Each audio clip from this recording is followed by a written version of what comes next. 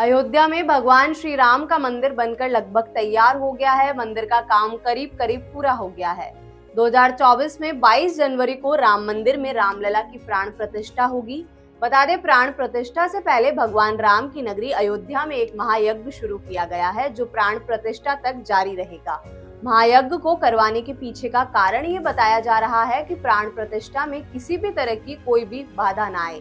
बता दें, अयोध्या में 25 दिसंबर से लेकर 15 मार्च तक 36 स्थान पर भंडारे चलाए जाएँगे, जिसके लिए देश भर से भगवान श्री राम के राम भक्त अनाज और मसाले लेकर अयोध्या पहुँच रहे हैं। तो वही दूसरी ओर, असम से चाय पत्ती, तेज पत्ता, दालचीनी, काली मिर्च और अदरक की पहली कैप और साथ ही हरियाणा से 400 क्विंटल चावल भी अयोध्या पहुँच चुके हैं। इस दौरान अयोध्या में स्थित राम सेवकपुरम में राम भक्तों के लिए केंद्रीय भंडार गृह बनाया गया है। बता दें 30 दिसंबर को प्रधानमंत्री नरेंद्र मोदी मर्यादा पुरुषोत्तम श्रीराम इंटरनेशनल एयरपोर्ट का उद्घाटन करने के लिए अयोध्या आ सकते हैं। ये जानकारी अयोध्या के विधायक वेद प्रकाश गुप्ता की ओर से सामने आई है। साथ ही वेद प्रकाश गुप्ता ने ये भी बताया कि संभावना है 30 दिसंबर को पहली फ़्लाइट दिल्ली से अयोध्या आएगी। और उस दिन हमारे देश के यशस्वी प्रधानमंत्री नरेंद्र मोदी अयोध्या रेलवे स्टेशन का लोकार्पण करेंगे। राम मंदिर के गर्भगृह का सिंहासन भी बनकर लगभग तैयार हो गया है। बस यहाँ सोने का काम होना बाकी रहा है। आपको बता दें, भव्य राम मंदिर में कुल छियालीस दरवाजे होंगे, जिसमें से ग्राउंड फ्लोर पर 18 दरवाजे होंगे।